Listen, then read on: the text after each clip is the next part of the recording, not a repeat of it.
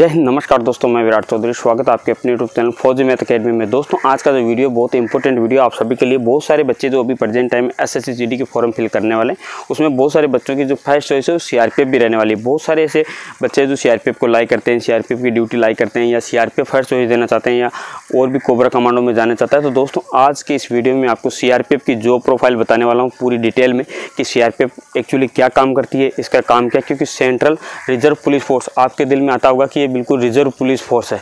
तो मैं आपको बता दूँ, ये पुलिस पहले बात हो कि दिया हुआ नाम है सेंट्रल रिज़र्व पुलिस फोर्स, लेकिन इसकी पूरी की पूरी जो काम होता है, बिल्कुल फोर्स की तरह होता है, यानी फौजियों की तरह होता है। इसकी आपने वर्दी भी देखी होगी, दो वर्दी है। सभी फोर्स की तरह इसकी भी एक कॉम्बेट वर्दी है जो आपने देखी होगी। कई बार मेरी डीपी में भी देखी होगी, मैंने भी पोस्ट किया, उसमें भी आपने देखी होगी। तो सेंट्रल रिज़र्व पुलिस फोर्स, यानी रिज़र्व नहीं है ये। बहुत सारे बच्चे ऐसे हैं जिनको ऐसा लगता है कि सेंट्रल रिज़र्व फोर्स है, यानी दिल्ली में बस रिज़र्व में रहती होगी। ऐसा नहीं है दोस्तों। सेंट्रल रिज़र्व पुलिस फोर्स नाम ही है, बाकी रिज़र्व नहीं है। बहुत सारी इसमें ड्यूटियाँ कौन कौन सी ड्यूटियाँ कौन कौन सी ड्यूटी आप इसमें फ़र्स्ट चॉइस अगर आप देते हो, इसमें लगने के बाद में कौन कौन सी आप ड्यूटी कर सकते हो कौन कौन सी फोर्स में आपको काम करने का मौका मिलेगा इससे, और इसकी जो प्रोफ़ाइल क्या है, किस प्रकार से इसकी सैलरी है, किस प्रकार से इसमें रिस्क अलाउंस है कौन कौन सी ये ड्यूटियाँ करती है, उसके बारे में पूरी की पूरी मैं डिटेल देने वाला हूँ साथ दोस्तों। साथ ही एक चीज़ बता दूँ, अगर आप एस एस की तैयारी कर रहे हो दोस्तों, तभी आपको फ़र्स्ट चॉइस सी मिलेगी, क्योंकि मेरिट इसकी काफ़ी ऊँची ऊपर रहती है। तो अगर आप भी तैयारी कर रहे हो एस एस की तो दोस्तों ये बहुत ही अच्छी बुक है ऑल इन वन बुक है। यानी इसमें आपको मैथ भी मिल जाएगी जीके भी मिल जाएगा रीजनिंग भी मिल जाएगी। यानी ऑल इन वन बुक है, साथ में कुछ ओल्ड पेपर भी दिए हुए मैथ भी है। यानी सभी सब्जेक्ट मिल जाएँगे। अग्रवाल पब्लिकेशन की बुक है एस एस के लिए स्पेशली तो अगर आपने अभी तक परचेज़ नहीं किए तो आप परचेज़ कर सकते हो। लिंक नीचे है डिस्क्रिप्शन में। आप अमेजन पे जाके परचेज़ कर सकते हो। उधर भी बेस्ट सेलर बुक है। और इसकी एक मॉडल बुक भी आती है वो भी आप परचेज़ कर सकते हो चाहो तो, तो दोस्तों अगर आप भी एस एस के द्वारा आप भी अगर एस एस के द्वारा सीआरपीएफ में लगना चाहते हो तो सबसे पहले मैं आपको बता दूँ कि सीआरपीएफ है क्या। दोस्तों सेंट्रल रिज़र्व पुलिस फोर्स दोस्तों सीआरपीएफ आप सभी को पता है, अभी प्रेजेंट टाइम में जो सीआरपीएफ का मुख्य काम है, वो देश में आंतरिक सुरक्षा का काम है दोस्तों। और देश में आंतरिक सुरक्षा का काम सबसे टिपिकल है। सीआरपीएफ आप सभी को पता है, छत्तीसगढ़ में उड़ीसा, झारखंड या नक्सलियों से लोहा लेती है, श्रीनगर, कश्मीर में आतंकवादियों से लोहा लेती है।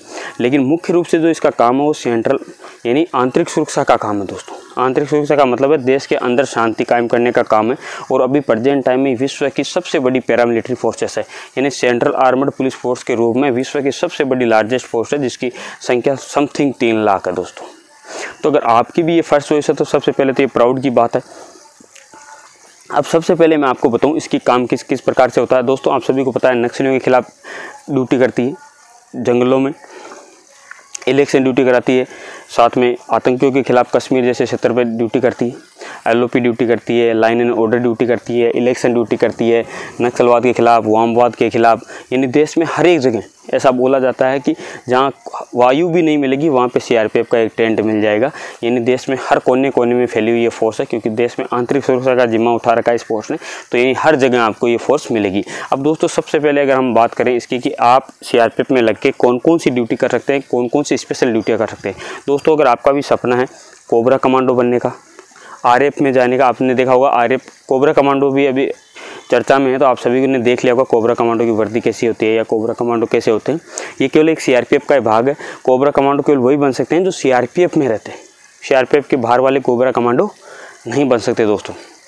अब बात करते हैं आरएफ रैपिड एक्शन फोर्स दोस्तों, इसके बारे में आपको जानकारी नहीं होगी। आर मतलब आपने देखा होगा, आपदा प्रबंधक के रूप में काम करती है। या कहीं धरना प्रदर्शन, या कहीं उग्रवाद फैल जाता है, या कहीं आंदोलन में हिंसा झड़प हो जाती है तो वहाँ पर एक ब्लू कलर की, यानी ब्लू कलर की कॉम्बेट ड्रेस पहनते हैं। मतलब फौजी वाली टाइप की ड्रेस होगी, लेकिन कलर होगा उसका ब्लू वो है रैपिड एक्शन फोर्स वो भी सीआरपीएफ का एक भाग है।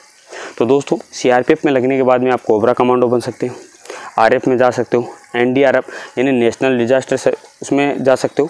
जो मतलब आपदा के टाइम पे सभी, लेकिन इसमें एन में सभी जा सकते हैं, यानी सभी फोर्सेस से जा सकते हैं। इसके अलावा cobra commando R F VIP protection दोस्तों आप सभी को बता दूँ, अभी प्रेजेंट टाइम में सीआरपीएफ की कुछ नई बटालियन बनी है, जो ओनली वीआईपी प्रोटेक्शन का काम कर रही है, यानी जो सी एसपी मतलब अपनी एसपीजी कमांडो का मतलब रूबरू है मतलब उसी टाइप की इनकी यूनिफॉर्म रखी गई है टाई बेल्ट की, और सेम उसी टाइप से रहते हैं, और ये वीआईपी बटालियन के रूप में मतलब गठित की गई है, जिसमें आपको वीआईपी प्रोटेक्शन टाइप की ड्यूटी करने को मिलती है, जिसमें मंत्री हो गए या कोई भी वी उनका प्रोटेक्शन की ड्यूटी करती है।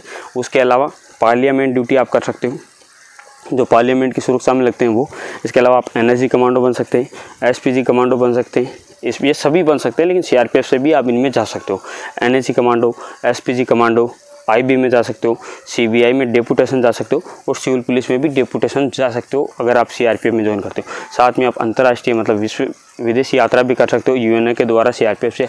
हर साल शांति, अभी तो कोरोना काल की वजह से नहीं जा रहा, लेकिन हर साल शांति दूत के रूप में सीआरपीएफ की तरफ़ से एक कोई ना कोई टुकड़ी हमेशा जाती है। तो आपका भी हो सकता है कि नंबर लगे, उसमें तो कभी आपको भी जाने का मौका मिल सकता है दोस्तों।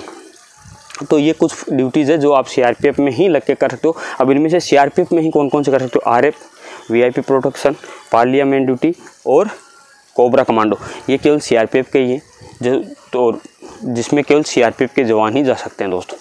तो ये कुछ सीआरपीएफ की ये ड्यूटियाँ होंगी। अब बात करें इसकी सैलरी की दोस्तों। इसकी अभी प्रेजेंट टाइम में जो बेसिक सैलरी है वो इक्कीस हज़ार सात सौ है। इसके अलावा डी एच आर आप सभी को पता है एच आर के अलग अलग रूट होते हैं। आठ परसेंट सोलह परसेंट और चौबीस परसेंट ये एच अलग अलग डिपेंड करता है। सभी को अलग अलग प्रकार से एच मिलता है। गाँव, ग्रामीण क्षेत्रों में आठ परसेंट, शहरी क्षेत्रों में सोलह, महानगरों में चौबीस परसेंट। तो इसके अलावा सैलरी सभी को समान मिलती है। डीएसए मिलता है। यानी जो बेसिक सैलरी होती है, सभी की समान होती है, लेकिन सीआरपीएफ में सबसे ज़्यादा सैलरी मिलता है। इसका रीज़न ये है, क्योंकि सीआरपीएफ काफ़ी रिस्क वाली फोर्स है। यानी आपको पता ही है, छत्तीसगढ़ उड़ीसा, झारखंड या नक्सलाइड एरिया तो यहाँ पर रिस्क अलाउंस काफ़ी हाई रहता है। मतलब सत्रह हज़ार तीन सौ के आसपास रहता है। कश्मीर में भी सत्रह हज़ार तीन सौ प्लस रिस्क अलाउंस रहता है। साथ में कोबरा में सत्रह हज़ार तीन सौ प्लस और भी इक्कीस सौ रुपये टी के रूप में मिलते हैं। और जम्मू में ग्यारह हज़ार के आसपास रिस्क अलाउंस मिलता है। यानी काफ़ी हाई लेवल के रिस्क अलाउंस मिलते हैं इसकी सैलरी में। क्योंकि ये काफ़ी रिस्क वाली फोर्स मानी जाती है। प्रजेंट टाइम में अभी देश में सबसे ज़्यादा अगर कोई रिस्क वाली फोर्स है तो सीआरपीएफ मानी जाती है। क्योंकि इसकी जो ड्यूटियाँ हैं, वो भी नक्सलाइड एरिया में आतंकी एरिया में काफ़ी ड्यूटियाँ रहती हैं, इसलिए। तो इनकी सैलरी भी, लेकिन जो बेसिक सैलरी होती है, सभी फोर्स की तरह सभी के समान होती है दोस्तों। अगर आप, आपका भी सपना है सीआरपीएफ में जाने का तो कुछ इस प्रकार की आपको ड्यूटियाँ करने को मिलेगी। साथ में एक चीज़ और मैं बता दूँ दोस्तों सीआरपीएफ में अगर आप में पढ़ने की काबिलियत है, अगर आपकी अच्छी है, अब आप पढ़ने की, आप जी डी पोस्ट से आ रहे हो, लेकिन आपने ग्रेजुएशन कर रखी है या ट्वेल्थ आपने साइंस में से कर रखी है, या आप पढ़ाई में काफ़ी अच्छे हो तो आपको बहुत सारे अवसर मिल जाते हैं डिपार्टमेंटली प्रमोशन एग्ज़ाम के लिए, क्योंकि काफ़ी बड़ी फोर्स है तो काफ़ी बड़े आंकड़े पर हर साल डिपार्टमेंटली कोई ना कोई एग्ज़ाम आता रहता है। या हर साल या एक साल बाद में, दो साल बाद में, यानी डिपार्टमेंटली आपको एग्ज़ाम देने का मौका मिल जाए जैसे रेडियो ऑपरेटर का है सी का एसआई का और आप एस एस यानी कॉन्स्टेबल से लेके आप डी एस पी तक जा सकते हो डिपार्टमेंटली एग्ज़ाम दे के दोस्तों। और ऐसे बहुत उदाहरण हैं जहाँ पर एस एस के द्वारा यानी जी डी कॉन्स्टेबल से लग के आज डी एस पी या सी आर पी एफ़ में तो बहुत सारे ऐसे उदाहरण हैं जो मतलब जी डी से यानी कॉन्स्टेबल से लग के आज कहाँ पहुँच गए? डीएसपी पद तक। तो अगर आप में भी पढ़ने की काबिलियत तो आपके लिए बहुत ही अच्छी फोर्सेस है, इसमें कोई संदेह नहीं है। आपकी फ़र्स्ट चॉइस है तो कोई संदेह नहीं है इसमें, क्योंकि आप इसमें लगकर डिपार्टमेंटली क्योंकि तीन लाख के समथिंग ये फोर्स है, यानी काफ़ी बड़ा आंकड़ा है। डिपार्टमेंटली एग्ज़ाम भी अच्छे होते हैं। और प्रमोशन की अगर हम बात करें इस फोर्स में प्रमोशन तो दोस्तों अभी एक पोस्ट से दूसरी पोस्ट यानी कॉन्स्टेबल से हवलदार बनने के लिए भी प्रजेंट टाइम में अट्ठारह से सत्रह से अठारह साल का समय लगता है, और उसके बाद में अगले प्रमोशन से आठ से नौ साल का समय लगता है। यानी पहले प्रमोशन के लिए आपको सत्रह से अठारह साल लग जाएगा, अगर आप मेहनत करके या एग्ज़ाम दे के प्रमोशन नहीं लेते हो तो। तो आपको समय लग जाएगा सत्रह से अट्ठारह साल। लेकिन हाँ आपका जो पे है, प्रमोशन पे, वो हर दस साल बाद में जुड़ता जाएगा दोस्तों। वो जैसे आपको सी का है, हवलदार का पे है, आपको दस साल आपकी सर्विस की होते ही है, वो लग जाता है। लेकिन आपको जो रैंक मिलती है तीन फिफ्टी की, अगर आप कोई भी एग्ज़ाम नहीं देते तो आपको सत्रह से अठारह साल का समय लग जाता है दोस्तों। ये इसके प्रमोशन के बारे में, साथ में इसकी क्या क्या ड्यूटी है, वो आपको मेरे ख्याल से समझ में आ गई होगी। जय हिंद, जय भारत।